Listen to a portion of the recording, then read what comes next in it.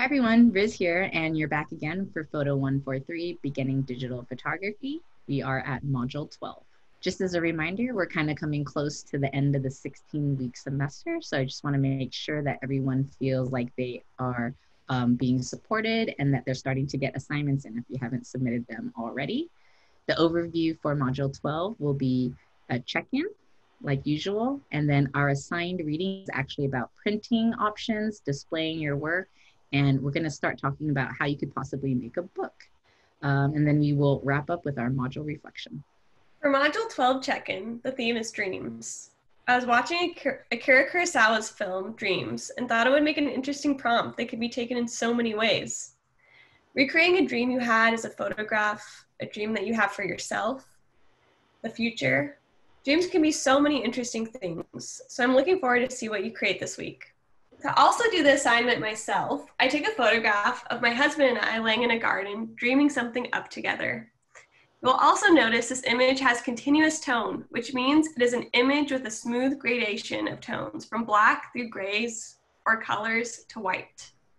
Thanks for designing that check-in, Shirin. Um, you also made me think about um, what I dream of as well. And so in my background, what we're seeing is my grandmother's kitchen. So again, I had mentioned in a previous model module I have I I had mentioned in a previous module that my grandmother lives in the Philippines, and so oftentimes I find myself in my kitchen daydreaming about this kitchen and thinking about but yeah i i definitely dream of this place a lot.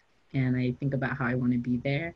And so thanks for taking me back to that moment briefly. Um, so we'll we'll press on to uh, chapter 10 and 13, and uh, you will again be doing printing options, displaying your work, and learning how to possibly make your own book. There are a variety of photographers that you will see throughout the book. I want to point out four that are my favorite Peggy Ann Jones, Annie Leibovitz, Dornith Doherty, and Philipp Scholz Rittermann.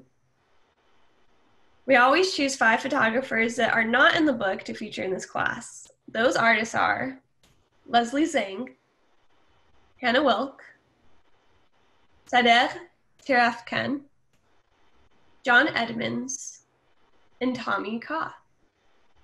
Thanks again, Shirin, for putting that list together. And just for a fun fact, I'll point out that Peggy and Philipp are also actually local to San Diego Oceanside area. And so there are some local photographers on our list. That's a wrap, everyone. Thank you again for joining us for Module 12. And again, office hours every Tuesday from 4 to 6 p.m. Thanks for joining us.